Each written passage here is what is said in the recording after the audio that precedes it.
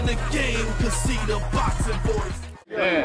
stopping right here. Adriana Jimenez, post fight here with WBO junior middleweight champion Jaime Munguia. Jaime, congratulations, you defended your title. How do you uh, rate your performance tonight?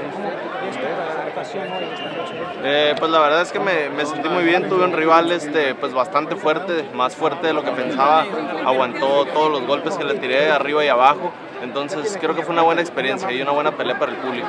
Had a good performance. I was up against a rival who was very strong and who could take a punch both, uh, both up uh, to the head and to the body, so it served me a lot of experience in this fight. Was there anything that surprised you of Inoue tonight? Was there something that you wish you could have done differently?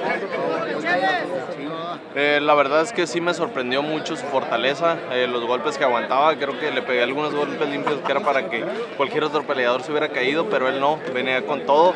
La verdad, eh, pues sí, me, me gustaría eh, mejorar muchas cosas para la próxima en cuanto mi velocidad que siga, que siga fluyendo en toda la pelea. Uh, what surprised me is his strength, and what surprised me was his ability to take punches. There are many punches that I threw in there that would have dropped anybody else. Uh, but I also want to keep working on things, and improving on things, where it's my speed or any other thing. You mentioned that you want to move up soon to 160. So what do you want to do next? Do you stay at 154 or do you move on to 160? Eh, pues es cosa que necesito platicar con mis promotores. Yo creo que sí voy a subir a las 160.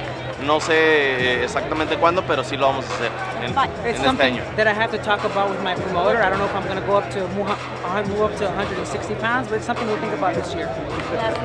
Mexican fans were out here cheering for you very loudly. What message do you have for everyone that came out to support you? ¿Qué, qué mensaje tienes para los aficionados? Pues que muchísimas gracias, que se los agradezco de todo corazón, en verdad, este, gracias a todos por su apoyo, espero que haya sido de su agrado esta pelea, eh, la verdad se, le dedico a todos mi pelea, a todos mis fans, a todas las personas que me vieron, le doy las gracias y les prometo que seguiremos avanzando y les seguiremos eh, brindando grandes espectáculos. ¿Tus peleas más complicadas ha sido esta la Eh, pues, yo creo que una de las más complicadas, no de las más complicadas, pero un rival demasiado fuerte diría yo. Hey, Jaime, this is the first time we ever saw you Primera vez que te going vieron backwards. ah, hacia, what are you hacia looking to atrás. ¿Qué es lo what que piensas en mejorar?